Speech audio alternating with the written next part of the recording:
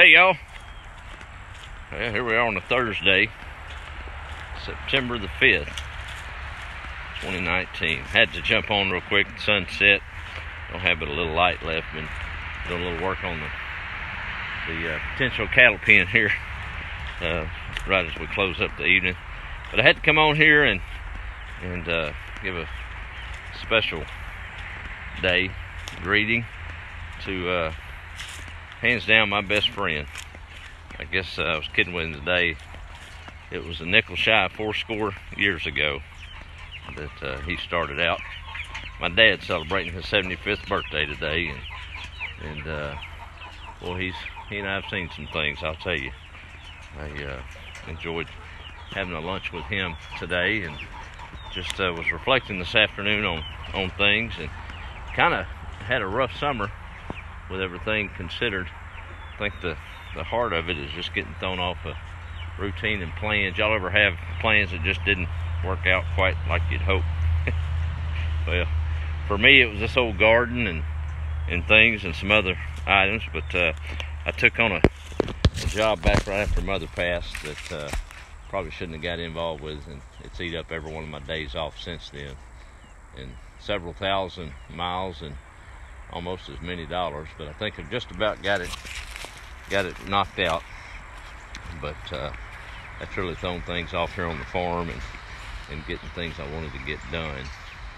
And uh, just kind of had that mind shift today that uh, it's almost over, it's almost behind me, and I can uh, get back to just living like I intended to.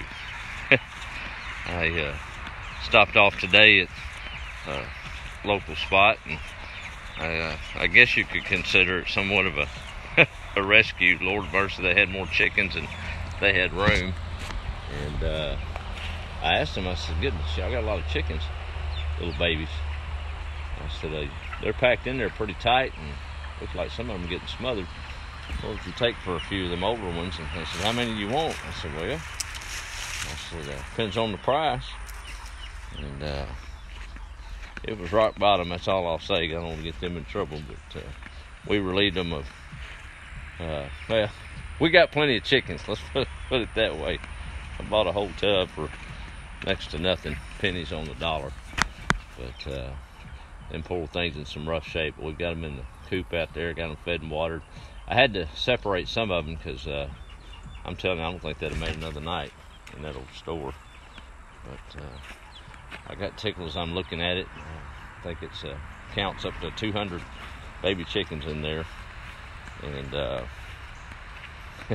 kind of hit me all that uh, upsetness and problem with that old bobcat wiping out the whole flock, and uh, looking at Dad's life and thinking about all the, the the sacrifices he's made, and just in general went back to an old Bible verse.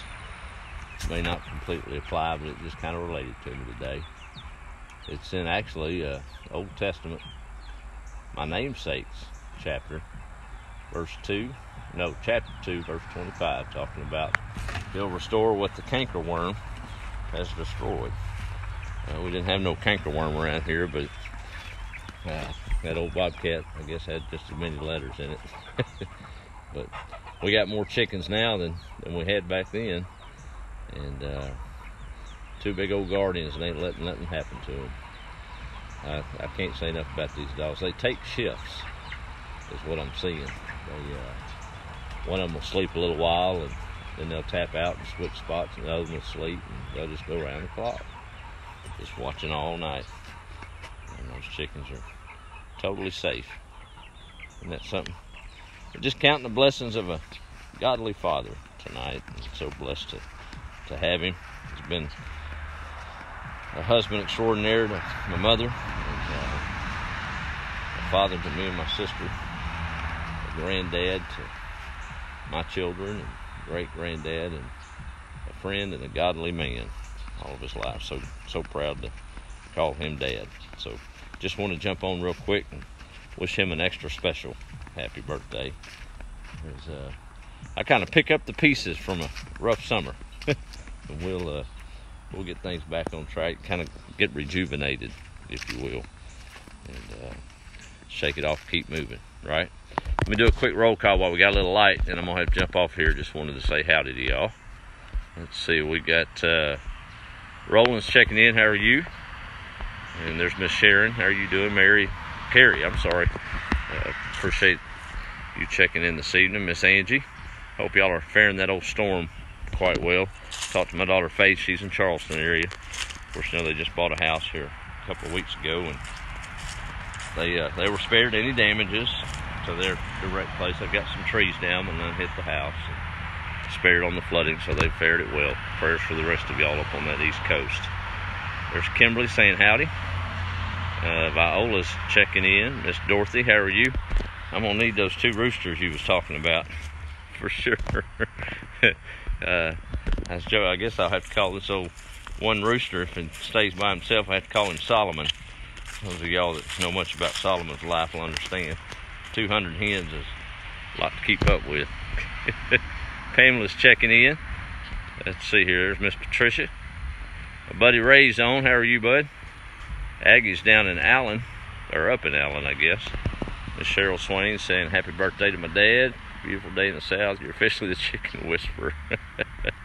oh, goodness. Judy Stout from Plano. How are you? Margaret saying howdy. There's Miss Aggie a couple of times. And Miss Allison saying howdy. Andrew, how are you in Florida? Hope y'all fared well. Uh, there's Connie Allison checking in and Kelly. Uh, Todd, Kimberly, and there's Ricky Joe and Joanne Smith. Barely made it. Listening to few. Okay. All right. Well, let me see real quick. I'll go. Uh, I don't think you can get an idea for how many of them's in here. We'll just put it this way. It's 180 some odd quarter a piece. So I wasn't gonna walk away from that deal. Uh, some things normally 350 a head, and uh, shoot, you can't hatch them out that cheap. So I, I just jumped them all up. We have got a no snake in here. I don't think that'll be one. But that's a bunch of chickens, y'all. I probably lose about 20 of them over the course of it. That's just how it goes.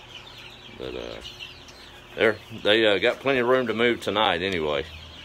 And we'll we'll see. I may have chickens for sale in addition to eggs. I did the math. I don't know what I'm to do if they all start laying here in 20 weeks. That's going to be about 16 dozen eggs a day. Guess I'll be eating everything eggs, won't I? all right, y'all have a good evening. Be the light, and I guess we'll uh, talk to you down the road.